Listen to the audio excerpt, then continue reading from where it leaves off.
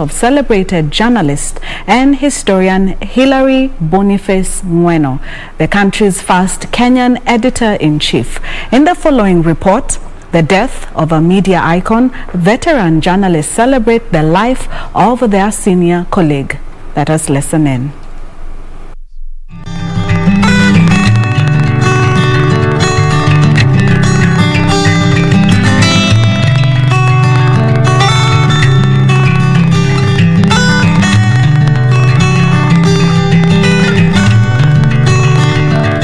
Well, I remember the very first time I met Hilary Ng'weno. I was uh, at the School of Journalism, and the director at the time, his name is Mr. Mwaura, Dr. Mwaura now.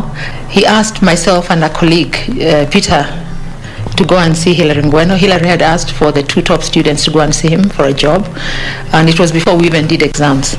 So I remember walking to his office and really being overwhelmed because at that time, and even until today, Hilary was such a revered figure.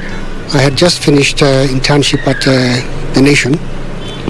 And on that Friday, I walked over to his offices at the Weekly Review. And I told him I finished my internship at uh, Nation. I would like a job as a sub-editor. So he gave me a, uh, a story, told me to go to the newsroom. I edited it. He told me to wait. 30 minutes later, he came back and told me, you did well in the interview. When would you like to start? Said, Monday. And that's it. It was what I call learning from the master. It was better than any university, any media school. And not just me, all the people I was working with at that time in the newsroom, 1986 onwards, none of them had been to journalism school. They learned from Hilary on the job. And of course, it was not just any journalism, but a superior journalism. Most of us would remember Hilary Ng'weno as a very keyed-in journalist, mm? very deeply uh, um, attuned to the stories of the day, uh, a man of very sharp intellect.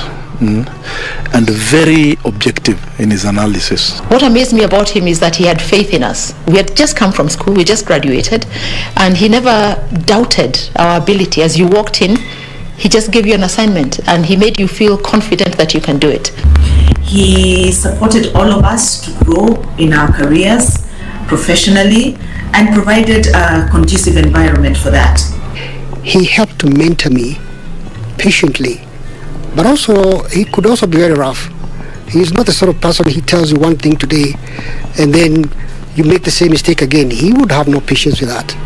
He was very much in demand um, by all the movers and shakers in this country government, uh, diplomats, international organizations.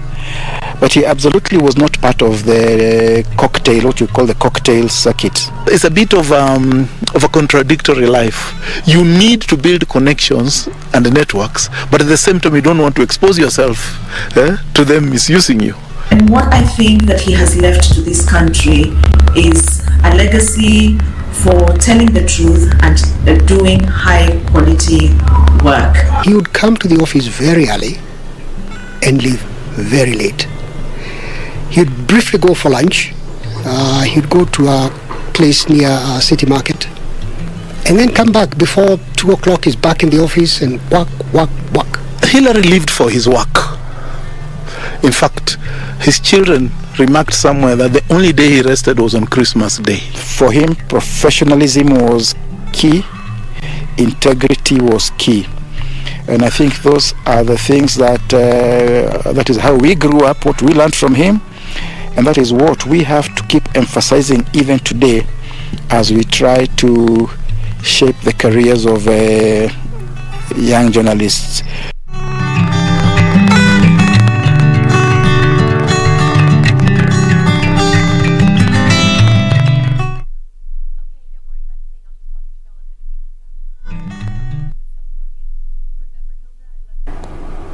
We are truly standing on shoulders of giants. Now, sports coming up.